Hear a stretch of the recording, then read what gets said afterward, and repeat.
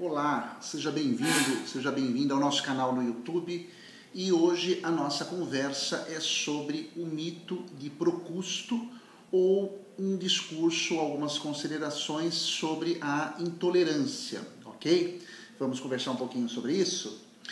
Uh, antes que você entenda, antes que eu possa discorrer a respeito do que é a intolerância, né, sobre a nossa incapacidade, muitas vezes, de conviver ou de tolerar as diferenças do outro, da outra pessoa, é fundamental que você conheça, em primeiro lugar, uh, qual é esse mito que o pessoal fala, né, o mito de Procusto, o que, que significa esse nome, uh, quem era esse personagem, que lição, que fundamentos nós podemos tirar a partir disso e principalmente qual é o ensinamento, qual é a mensagem que o mito de Procusto traz para nós e o que isso tem a ver com as nossas intolerâncias de cada dia. Tudo bem? Vamos lá então.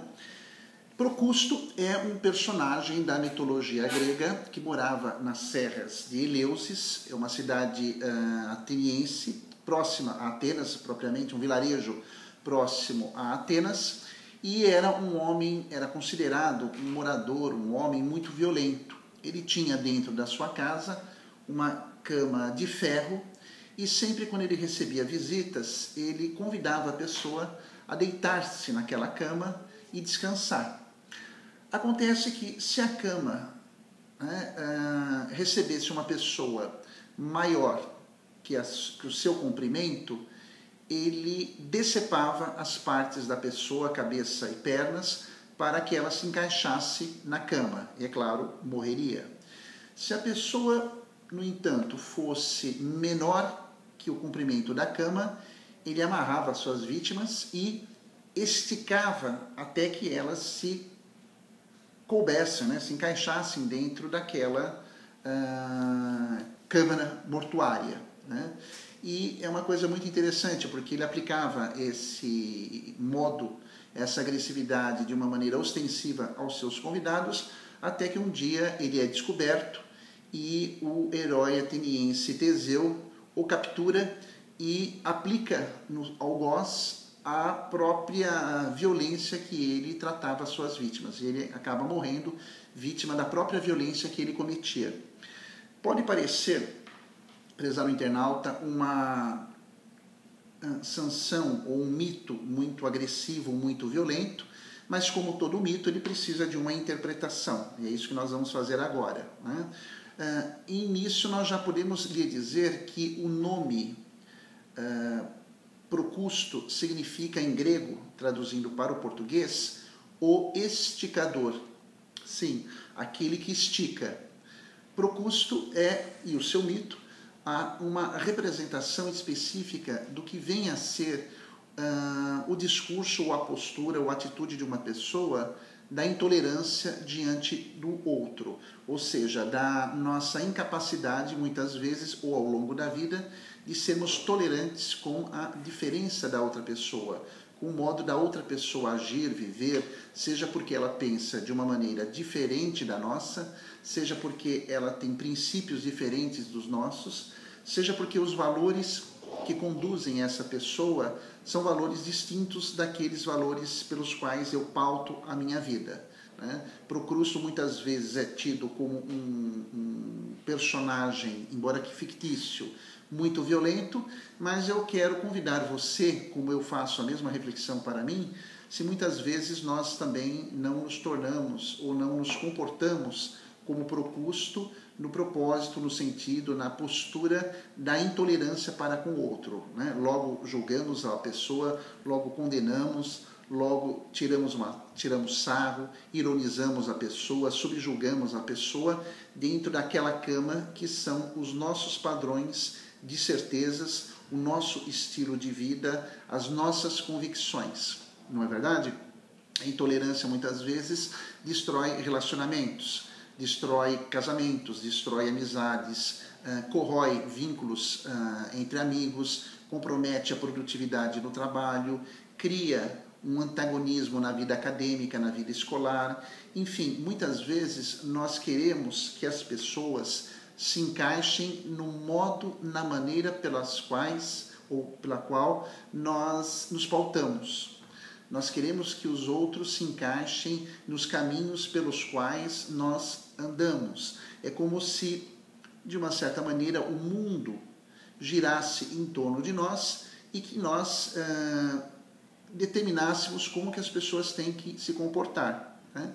É claro que a intolerância, do ponto de vista da psicanálise, é uma demonstração de pouca maturidade emocional. Pessoas intolerantes ainda não alcançaram um certo estágio de maturidade a ponto delas conviverem com outras de pensamentos diferentes, uh, perspectivas diferentes, valores diferentes, sem ter que necessariamente abrir mão dos seus princípios.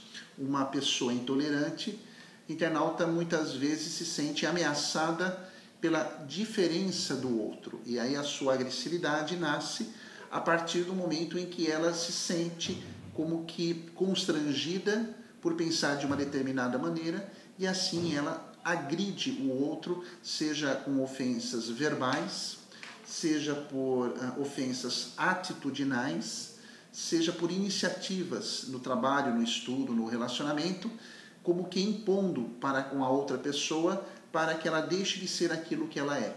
Na verdade, o intolerante é aquela pessoa que tem um conjunto de comportamentos e de atitudes de não tolerar, né? daí intolerante, não tolerar, não suportar, não saber conviver com o diferente, muitas vezes até impondo as suas convicções, impondo a sua maneira de ver as coisas, de entender o mundo e de resolver as questões do cotidiano. É claro que se essa pessoa está envolvida num relacionamento afetivo, se essa pessoa é intolerante, né, os procustos dos tempos modernos, uh, no trabalho, na universidade, no ciclo de amigos, na família, uh, começa a desenvolver atitudes de querer levar os seus parceiros, os seus conhecidos, amigos e familiares para a sua cama e tentar encaixá-los na mesma perspectiva, é claro que não somente ele vai perder esses vínculos, essas relações, e é por isso que no mito uh, as suas vítimas morrem, ou seja, Procusto vai perdendo contato com as pessoas do seu relacionamento, ele é um, um, uma pessoa violenta, uma pessoa forte, mas alguns dizem que ele era até muito rico, mas era uma pessoa extremamente infeliz. Por quê? Extremamente solitária. Né? Os solitários não são aquelas pessoas que não têm com quem conversar ou com quem conviver. O solitário é aquela pessoa que não tem com quem dividir as suas angústias, as suas preocupações, mas também as suas alegrias, as suas expectativas. Pois bem, Procusto é um personagem uh, solitário na medida em que ele destrói o outro, na medida em que ele mata o outro, na oportunidade em que ele teria até de crescer, de evoluir, de pensar um pouco diferente ou de ouvir mesmo coisas diferentes para a sua própria vida. Então, eh, esse vídeo, de uma certa forma, nos ajuda a entender e entendo também, eh, imagino também, até de revermos posições de intolerância que eu tenho com determinadas situações, pessoas ou oportunidades. Né? Na verdade, para o custo, é você, sou eu, somos todos aqueles que muitas vezes caímos na cilada de achar que o mundo tem que ser da forma como eu entendo que seja. Né?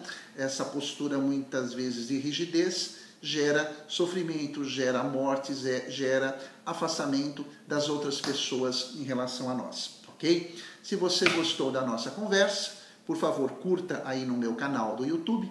E se você quiser ter novidades sobre uh, novos uh, posts, novos temas e novas iniciativas que eu faço por meio da publicação, assine, uh, coloque o seu nome em nosso canal e sempre que eu postar uma novidade, você vai ser o primeiro, a primeira a receber aí notícias nossas, ok? Um abraço e pense no que falamos, tá bom? Tchau, tchau.